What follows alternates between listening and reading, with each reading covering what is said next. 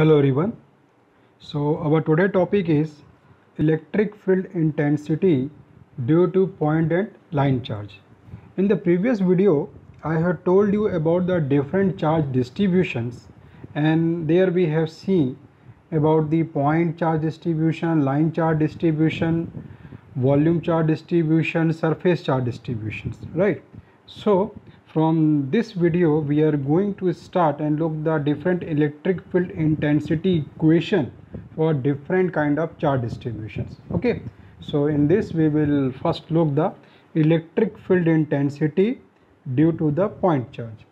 So the electric field intensity due to point charge q is given by this is the symbolic representation of the electric field intensity E is equal to Q upon 4 pi epsilon naught R square and this is the AR okay. So this is the uh, expression of electric field intensity for a particular point charge okay. So this is uh, very simple and this is important for numerical aspects okay. Now next is the electric field intensity expression we look for the line charge distribution. So now consider here I had drawn one figure. So you just consider that this is the L length of a particular conductor okay? Or here we can say we have a charge distributions. You can see this is the charge distribution is there and this rho L is defining the line charge density. Rho L is what? Is defining here the line charge density. Okay so now consider that if we'll take a differential amount of the length so if we'll say the length of the line is given L and we are taking a small amount of this length which is given as the DL DL means the differential length of this particular length so कहने का मतलब ये है कि हम इस total length जो है L इसमें हम एक स्मॉल लेंथ कंसिडर कर रहे हैं जिसको क्या बोल रहे हैं डिफरेंशियल लेंथ DL तो no differential length DL if this differential length DL will contain a differential charge dq okay? So we can find the electric field intensity at a particular point p. So we can say that the differential charge which carries by this differential element can be defined as dq equal to we can define dq equal to rho l into dl so we can define the dq equal to rho l into dl. Okay? Now next because we are we are taking the differential length and which carries the differential charge. So whatever the intensity will find at a particular point p that will be also the differential electric field. So we can say the differential electric field right? So differential electric field will be given as the dq upon this will be the 4 pi epsilon naught this will be given as the r square into ar अब देखिए यहाँ पर आप ये r और ar क्या है r is basically telling about the distance of the point p from the origination where we need to find the value of electric field intensity okay also we can say tells about the position vectors okay and here AR is the unit vector. It shows the direction where we are going to find the electric field intensity. Okay. So this R representing the distance and this AR representing the unit vector at a particular point P where we need to find the electric field intensity.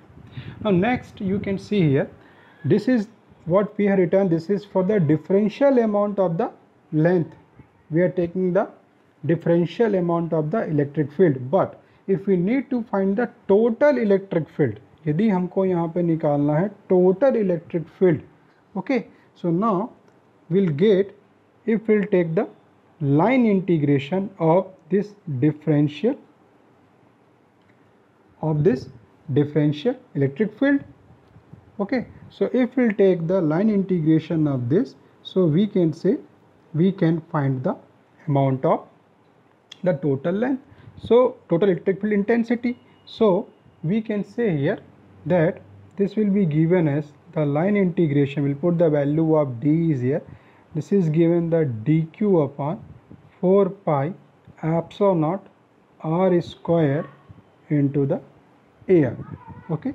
So now further if we'll put the value of dq here so we'll write this e equal to so dq will be how much? Rho l. So this will write the rho l. We'll take the line integration.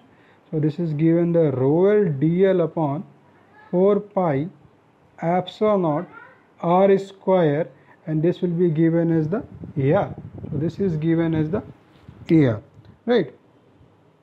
So here this is the this, so this is the expression of electric field intensity for the line charge distribution. For the line charge distribution we will take this expression to solve the numerical to solve the numerical. So this is very important for numerical aspects. Also one more thing.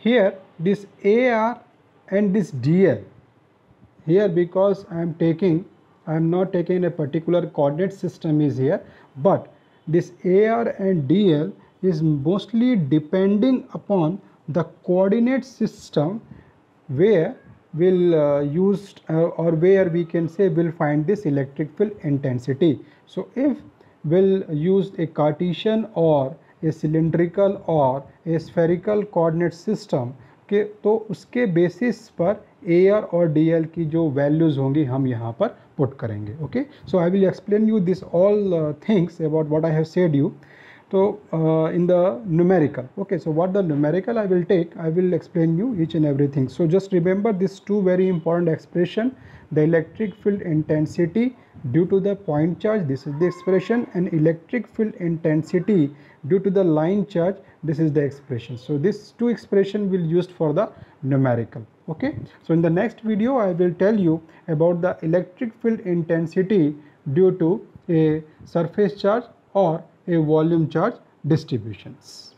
Thank you.